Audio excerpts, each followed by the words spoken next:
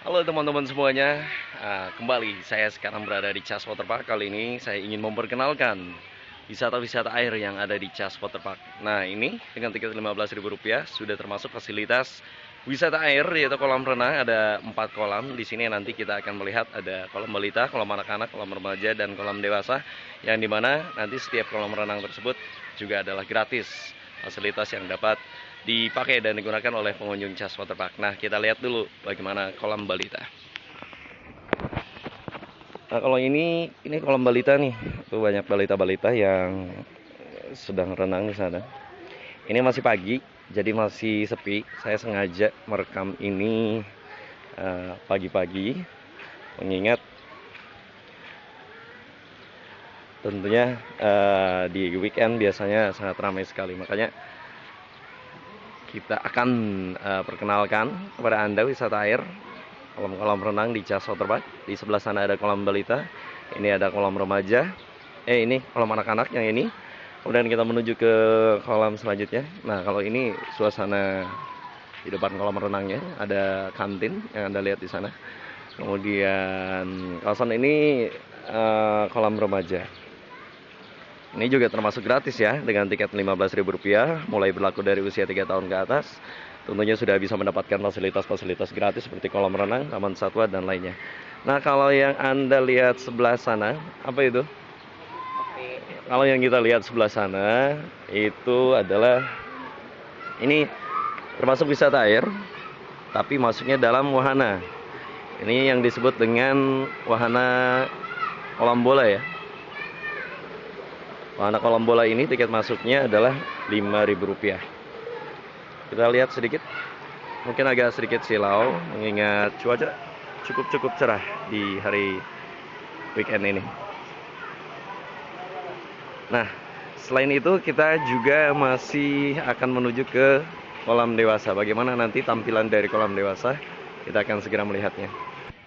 Nah, kembali dilanjutkan kalau yang ini adalah kolam dewasa dengan kedalaman mencapai 170 cm ya. Di kolam dewasa tentunya setiap harinya juga biasa digunakan oleh anak-anak sekolah untuk praktik renang ataupun juga pihak-pihak tertentu yang uh, sering melaksanakan latihan bersama di sini. Nah, kolam dewasa ini juga termasuk uh, salah satu fasilitas wisata air yang digratiskan di Cas Waterpark. Kita lanjut ke wisata air selanjutnya. Ini termasuk uh, suasana di belakang pintu masuk gerbang utama. Di sini terdapat banyak saung-saung ya, gazebo. Ini kita belum belum menuju ke kawasan Taman Satwa yang di mana nanti masih banyak lagi saung-saung yang lain dengan kawasan-kawasan alami.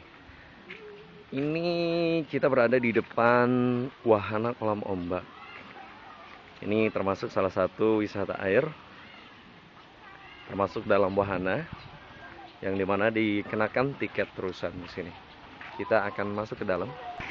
Dan pemirsa, inilah yang dimaksud dengan kolam ombak. Lumayan cukup luas sekali lokasi untuk wahana kolam ombak ini ini sangat cocok sekali untuk adik-adik kecil gitu ya yang ditemani juga dengan orang tuanya tentunya. Di mana di sini disebut kolam ombak karena ada riak air yang seperti kita lihat di sana. Dan anak-anak tentunya bebas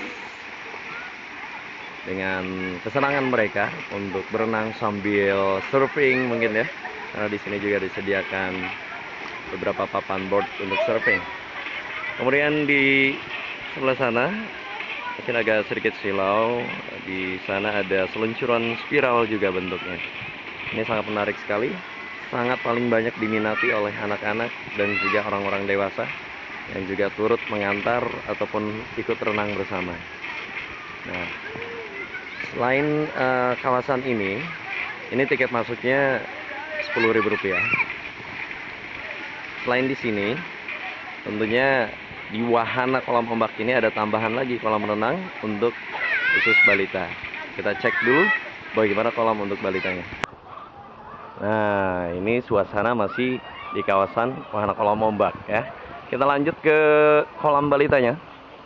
sambil kita melihat nih banyak orang-orang yang lagi renang di sini ya. Oke. Di kawasan ini juga terdapat kolam khusus untuk balita, untuk anak-anak usia balita. Kita juga bisa melihat pemandangan di sini ada danau buatan. Seperti kita lihat di sana ada orang yang mau menyeberang, itu jembatan jembatan goyang ya. Seru. Di atasnya itu ada rel, ada trek. Itu untuk wahana sepeda layang. Ini dia tampilan dari wahana kolam ombak. Kita lanjut ke wahana kolam balita yang ada di dalam kawasan wahana kolam ombak. Sangat menarik ya.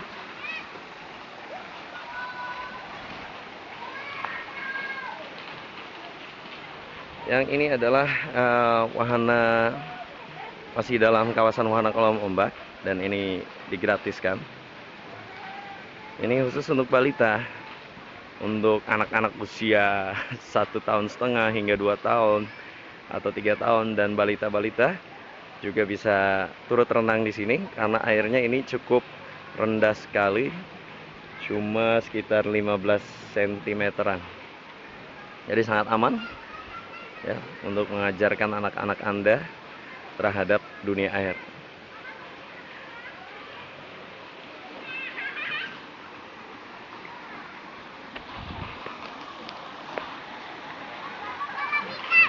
Jadi teman-teman, itulah sedikit preview mengenai wisata air di Chas Waterpark Pandeglang.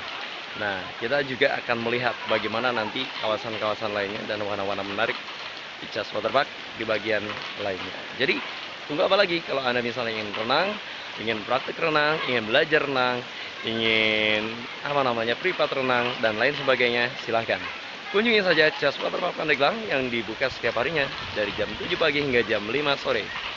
Tiket masuk Rp15.000 dari mulai usia 3 tahun ke atas. Saya Deddy Daniksi, sampai jumpa.